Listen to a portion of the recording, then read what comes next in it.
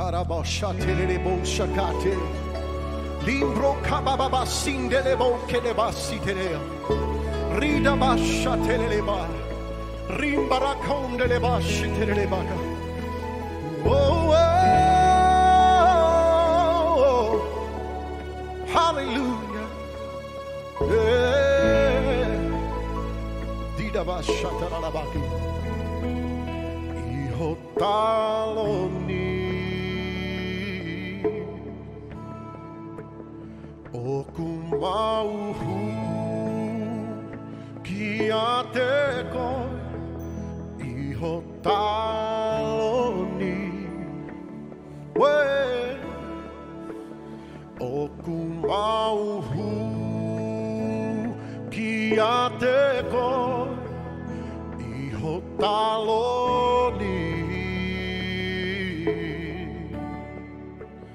Oku mauhu guíateko pema puno. Yeah pema puno.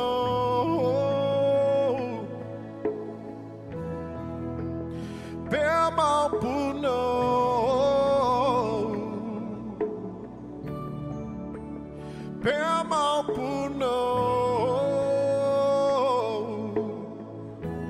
Colony.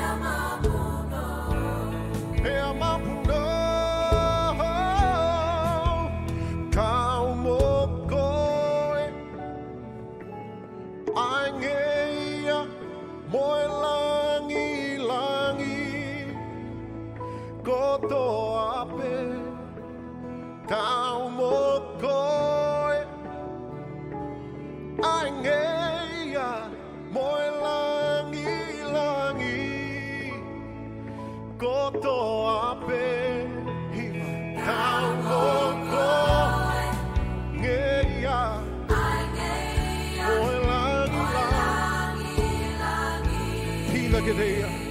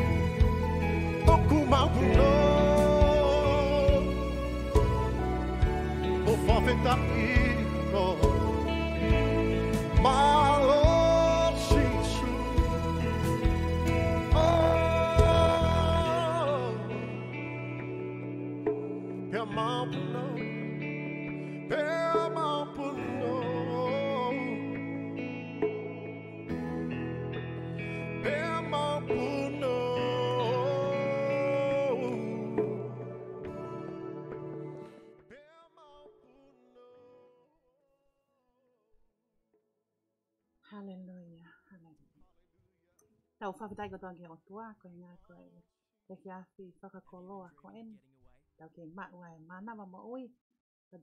tau mai ai ki he ono pai oi. I want to say welcome everyone to this program, but before we begin and continue on, let's turn to God in prayer.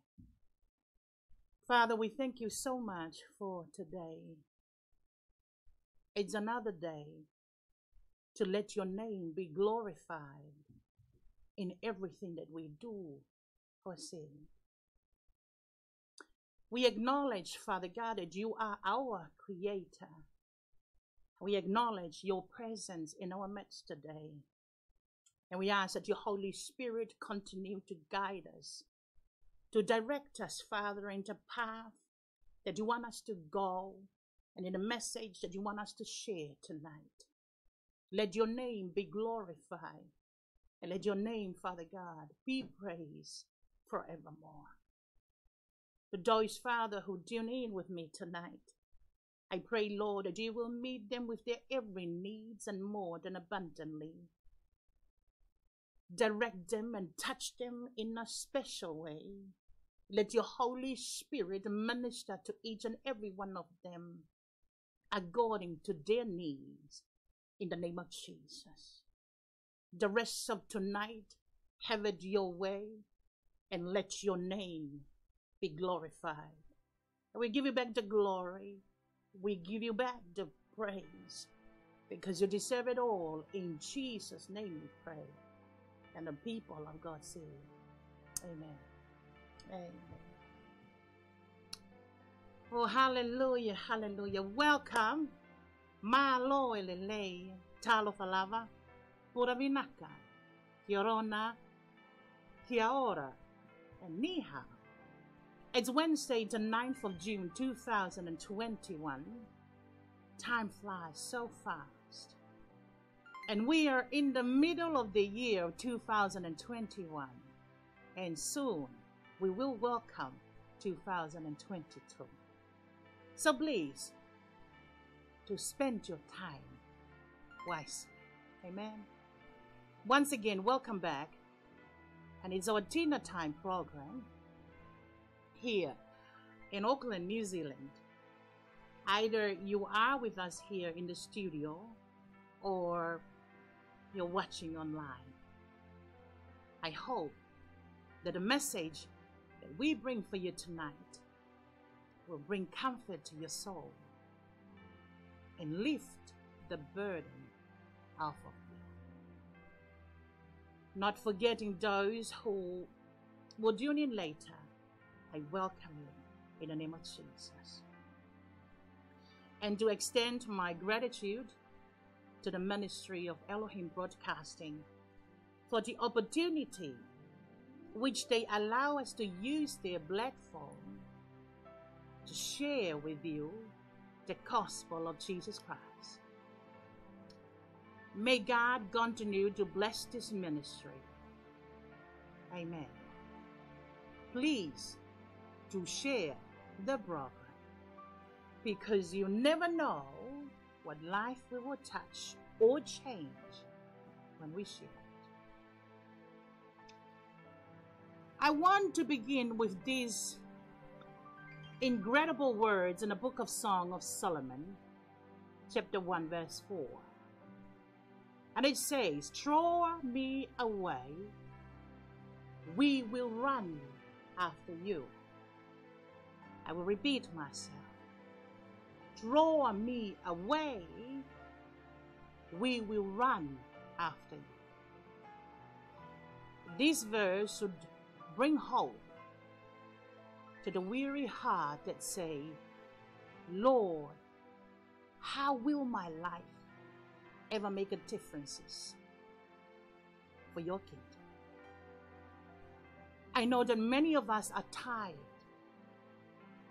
Many of us are weary from the battle, both the one inside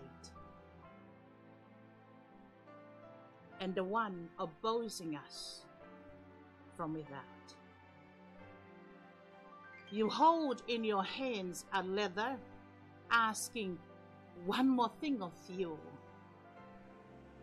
which you may feel incapable of performing.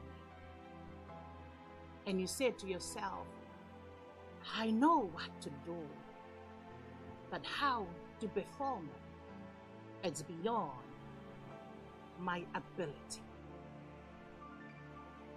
And here's the good news. The good news is that you are in a good company. You have become one in heart. An experience with Abraham, experience with Sarah, Moses, Esther, Gideon, Hannah, not forgetting Elizabeth, and the apostles Peter and Paul, just to name a few.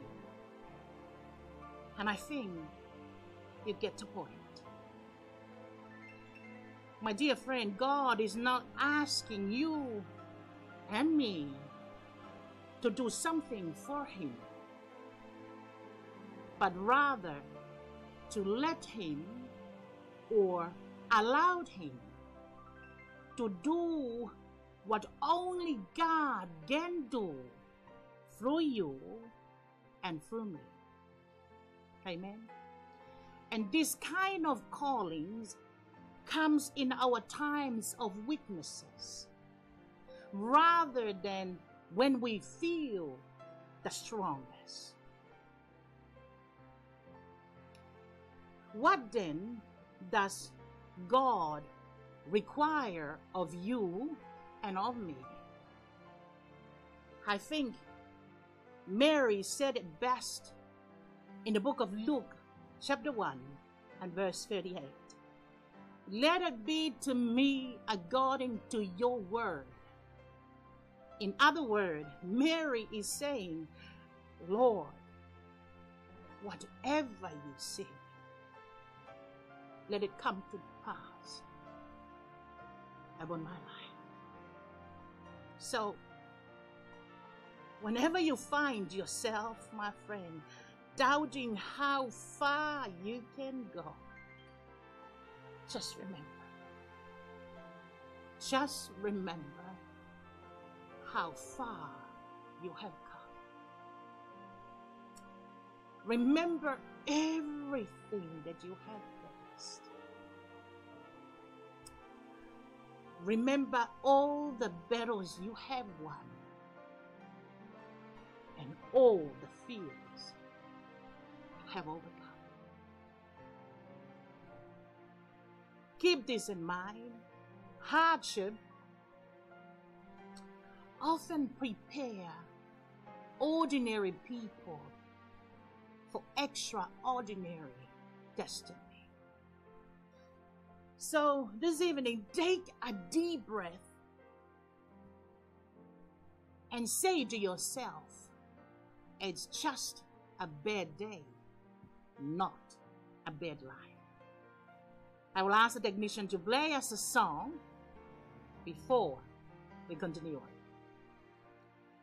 Hallelujah.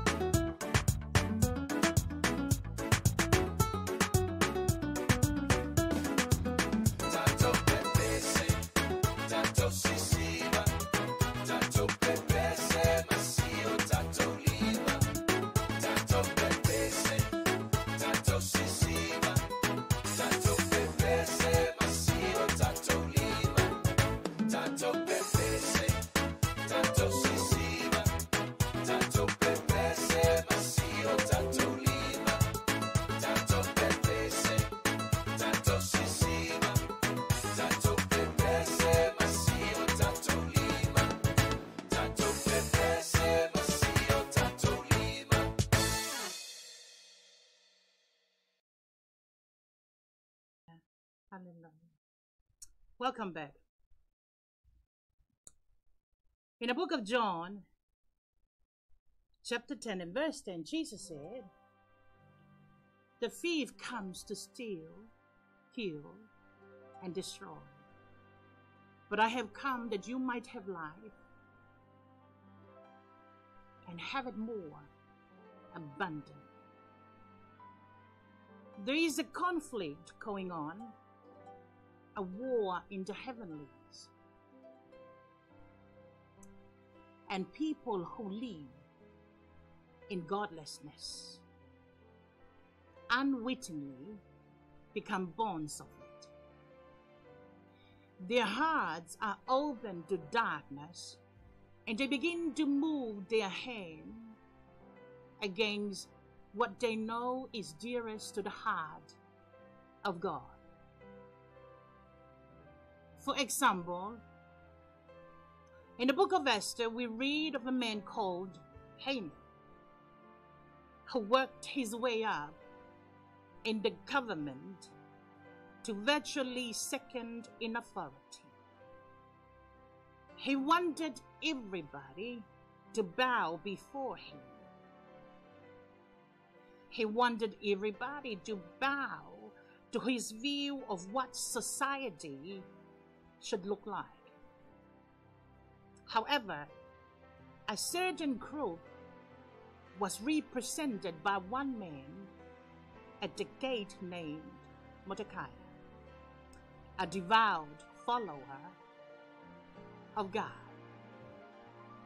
Haman became inflamed against Mordecai and all the Jews he represented. And Haman persuaded the king to pass laws with the ultimate goal to erase the society of these people from the face of this earth. And I want to bring another story that's similar to the stories of Mordecai. In the book of Daniel 6, verse 125, it's a similar story, but I want to read it. King Telius was the king of the Medes. He had divided his kingdom into 120 states and appointed free men to rule over them. One of these free men was Daniel, who worshipped and prayed to God every single day. Over time, God allowed Daniel to prosper. And soon King Telius planned to make Daniel in charge of the entire empire. The other two advisors were unhappy about this. So the two advisor tried to find some law that Daniel is breaking so that he does not get any more power over the land. But Daniel is a very faithful and responsible leader. They find nothing against Daniel. So they come up with another plan that they should charge him over a religious law. He always prayed to his God, they say. So let's make a law ordering everyone in the empire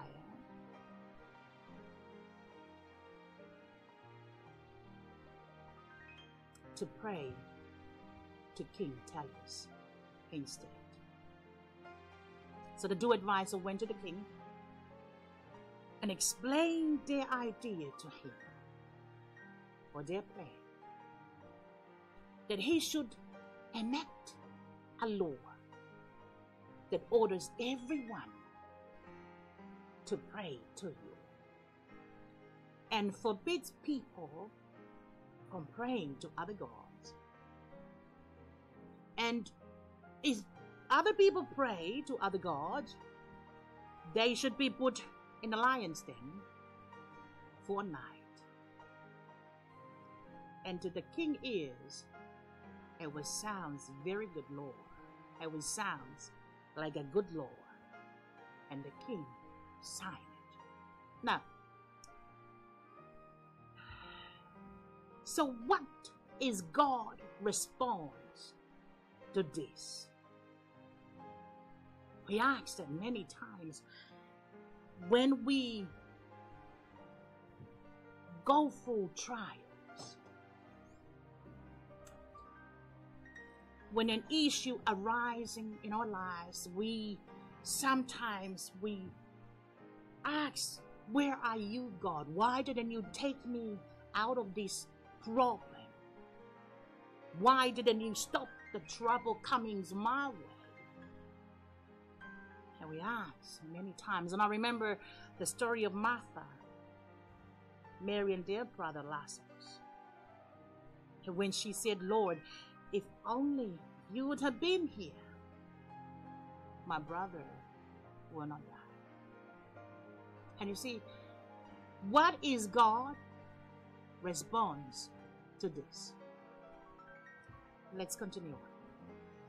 The Apostle Paul said in the book of 1 Corinthians 1, verse 26 to 28, it reads that God takes the weak, He takes the foolish, and the things that are not, to bring to nothing the things that stand in their own wisdom and strength. And in this case, God had pro, pro, providently placed a young Jewish girl named Esther in the king's palace. And when God called Esther to go in and make intercession for her people, it happened to be at the worst possible time in her life. The passion of the first romance with the king had somewhat faded, and she had not even been called into his presence for 30 Perhaps she felt unlovely or feared that she had somehow failed to be faithful to the king. And now he was dis- displeased with her. And don't we all love God's timing? And as we look at the church in our community today, who among us can say that we are all we should be? Our churches are virtually prayerless. Our gospel is light and somewhat treacherous. Or if not, it is heavy fisted, condemning the righteous. Just like Esther, we might conclude, Oh God, this is the worst possible time to experience this onslaught of evil that we are facing today. We are not strong. We feel like we have in the presence of the King, and we are completely aware of our failings and our inability to do what you are calling us to do. Nevertheless, God has died the moving of His hand in with our voices. You see, the incredible mercy and kindness of God displayed in that He waits to hear us in our frailty. That means that there is one thing that we must rediscover. The thing that Esther had to know despite how she felt about herself. That she was still the bride of the king. So, no matter how you feel about yourself, even if you have been away from God for years, it does not matter. Because Isaiah 49, verse 16 says that God has engraved you on the palm of his hands. Hallelujah. Esther is a type of a praying people, the ones to whom God looks in order to display his power once again. In her own frailty, Esther turned to a complete dependency upon God. Calling together her friends to pray and fast for three days. Esther knew that this would not be accomplished through petition or activism. What needed to be done in the nation was only going to happen by the hand of the Almighty God. And so, she essentially concluded. Esther 4, verse 16 says, Not only will we fast, but I am going to throw myself in with my prayer. And I am going to go in to the king. And whatever it costs me, that is what it costs me. Similarly, it is not a casual prayer that the Lord is looking for in our generation, but rather people who are willing to say, God, I accept whatever you have for my future. God, I accept whatever you ask me to do. I will do it. And if I perish, I perish. You see,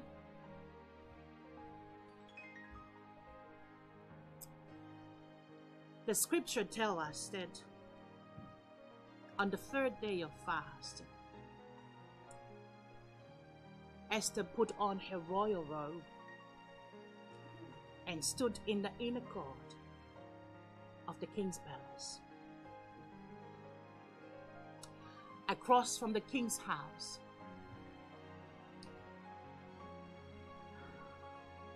while the king sat on his royal on his royal throne in the royal house, facing the entrance of the house. And so it was when the king saw Queen Esther standing in the court that she found favor in his sight. And the king held out to Esther the golden scepter that was in his hand. Then Esther went near and touched the top of the scepter. And let me remind you this evening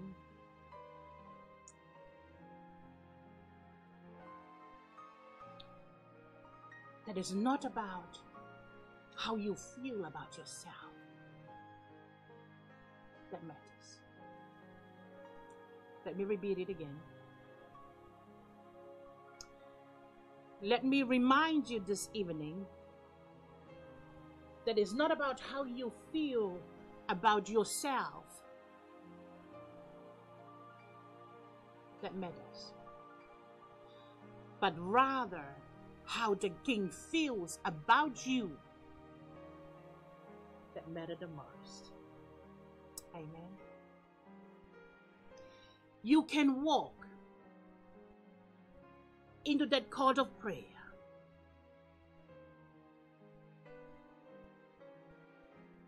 Feels like that you amount to nothing. You can walk into that court of prayer.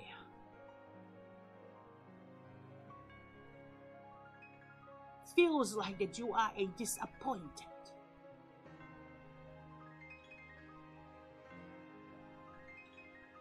Only to discover that the king has been waiting for you. Only to discover that you are the apple of his eyes. Only to discover that he has been longing to hear your voice. Only to discover that he's not ashamed of you because he bought you with his own precious blood. So when Esther touched the top of the king's scepter, she recognized the king's power. Esther recognized the king's mercy as well as her position in that court. Likewise, you and I must again recognize the power of our Savior and know that in Him we are more than conquerors. Know that in Him we can do all things. We'll, we will go for another break and then we will continue on.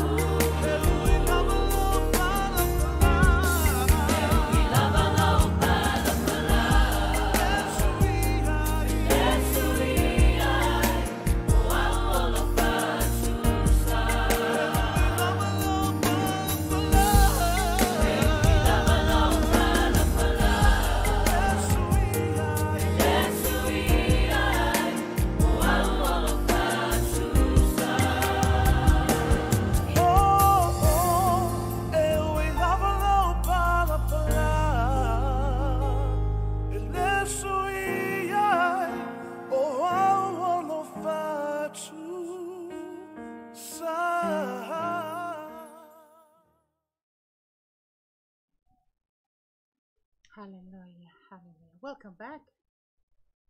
Let's continue on. In Esther 5, verse 3, the king said to her, What do you wish, Queen Esther? What is your request? It shall be given to you up to the half of my kingdom. Esther gave an unusual answer. If it were me, I probably would have just gone for the throat of the matter and explained that Haman was trying to kill my people. But Esther spoke with wisdom. In Esther 5, verse 4, it says, If it pleases the king, let the king and Haman come today to the banquet that I have prepared for him. Remember, for him. I find it very much interesting that Esther is inviting two people, but she is intimating the banquet is only for him, assuming it is the king she's referring to. And this is a picture of how our first ministry is not merely to be coming to Him with the list of our needs. We must not forget to take time to just to thank Him and love Him.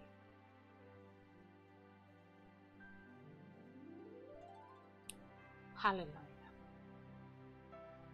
And now a time of a second request comes. A second banquet. All the banquet, the king, at the banquet, the king said to Esther, Remember, this is the second banquet. And the king said to Esther, What is your petition? It shall be granted to you. And what is your request? Ah, to the half of my kingdom. It shall be done. Then Esther answered and said, My petition and request is this. If I have found favor in the sight of the king, and if it pleases the king to grant my petition and fulfill my request, let the king and Haman comes to the banquet which I will prepare for them.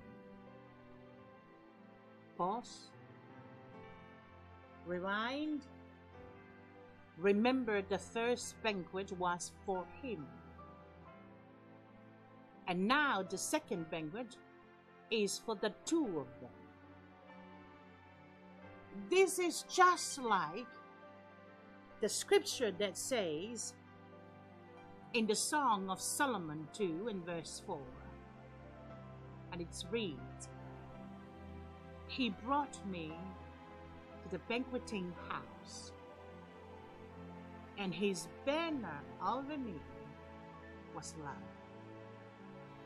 Finally, Esther fully knew that the king's heart was engaged with her voice.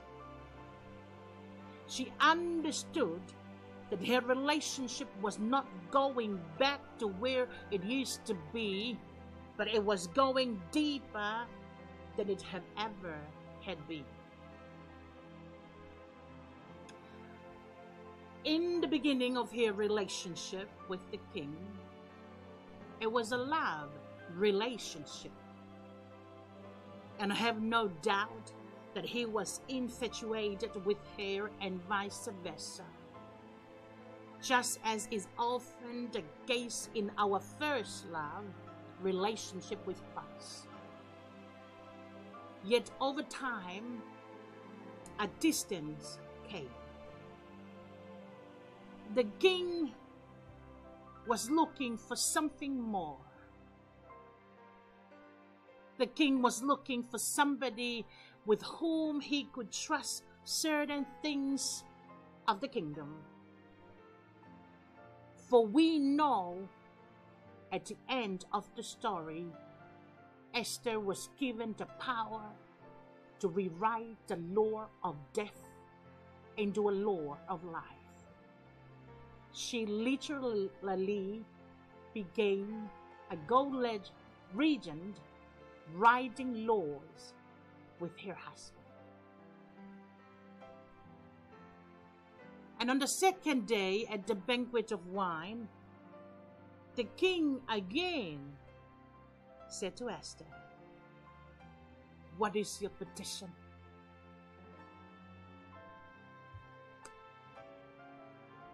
What is your petition, Queen Esther? It shall be granted to you.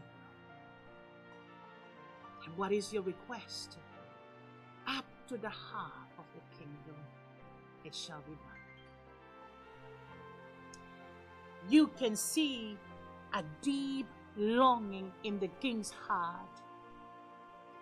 In the same way, can you understand how much Jesus is waiting and longing for you and for me?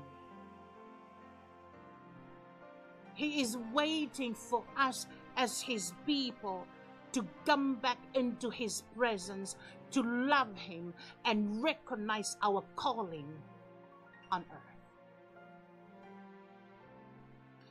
The Queen Esther answered and said, If I have found favor in your sight, O King, and if it pleases the King, let my life be given me at my petition, and my people at my request. For we have been sold, my people and I, to be destroyed, to be killed, and to be annihilated. Had we been sold as a male and female slaves, O king, I would have held my tongue. But although the enemy could never compensate for the king's loss. So King Ahasuerus answered and said to Queen Esther, who is he? And where is he? Who would dare presume in his heart to do such a thing? Who would dare? A fire comes into the king's eyes is because his bride has come back to him. His bride is ministering to him at the banqueting table. The one David said in the book of Psalm 23 and verse 5 You prepare a table before me in the presence of my enemies. You anoint my head with oil, and my cup overflows. Can you imagine what will happen when we come back to the throne of God in our community, when we come back to the throne of God in our home,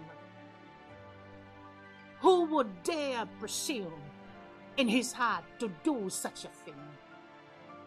Who would dare to think that he can curse and eradicate the people I have pro- proclaimed to be blessed in the earth and to be a blessing everywhere they go. Who would dare to raise his hand against my pride? The testimony of who I am indeed.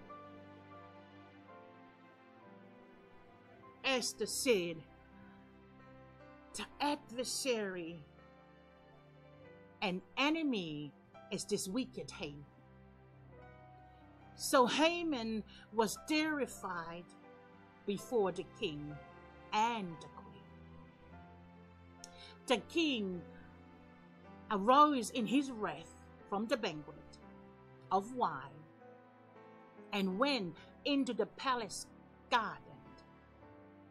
But Haman stood before Queen Esther, pleading for his life. For he saw that evil was determined against him by the king. Oh, hallelujah. When the king returned from the palace garden to the place of the banquet of wine, Haman had fallen across the couch where Esther was.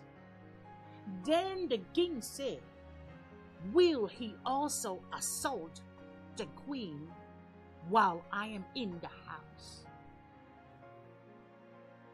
And as the word left the king's mouth, they covered Haman's face. Now, Harbonah, one of the eunuchs, said to the king, Look, the gallows fifty cubits high, which Haman made for Mordecai, who spoke good on the king's behalf, is standing at the house of Haman. Then the king said, Hang him on it. So they hanged Haman on the gallows that he had prepared for Mordecai. Then the king's wrath subsided. You see, whatever the enemy means for harm to the people of God, God will turn it around. In the book of Psalm 37, verse 14 to 15, say, The wicked draw the sword and bend the bow to bring down the poor and needy, to slay those whose ways are upright. But their swords will pierce their own hearts, and their bow will be broken.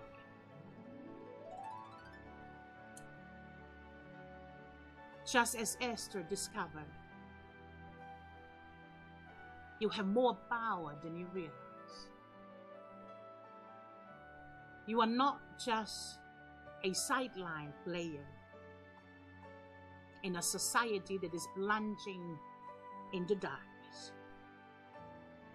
You are the bride of the king, the ultimate authority. Rulers are in his hand, laws are in his power and can be rewritten. We are living in a days where there are textbooks that needs to be rewritten in our schools. Laws that need to be rewritten in our towns. There are things happening in the spiritual realm that God will give you the power to rewrite. And if we all start rewriting together. Can you imagine what will happen in all facets of society? It reminds me of a song called Mercy Rewrote My Life. My mistakes got turned into miracles. Every tears was turned into joy. My sins are forgiven, and a new name was written when mercy rewrote my life. We can live to see a spiritual awakening in our day. And so it is time for you and for me to pray for our home. It is time for us to lift up our nation before God. Let's pray. Father, we thank you for tonight. We thank you for your words. Thank you, Holy Spirit, for being here with us. I pray, Lord, that you bless those who listen, bless those who tune in later. Whatever their needs might be, I know that you will meet them according to their needs, according to your riches and glory. For everything, Father, you hold in the palm of your hands. And all we need to do is come to you and receive them by faith. In the name of Jesus. Thank you for the story of Esther that brings joy and peace. It encouraging us, Father, to stand no matter what comes our way. And Father God, thank you for everything that you have done so far. Give you back the glory, give you back the praise, for you deserve it all. And be with all of us tonight. In Jesus' name we pray. And the people of God say, Amen. Thank you so much for tuning in with me this evening. We will be back here at the same time, same place, next week on the 16th of June, 2021. May God bless you and keep you. May his face shine upon you and be gracious to you. May he turn his face towards you and give you peace. And we said, Yes, Lord. We agreed and we received your promises in Jesus' name. Bye for now. God bless.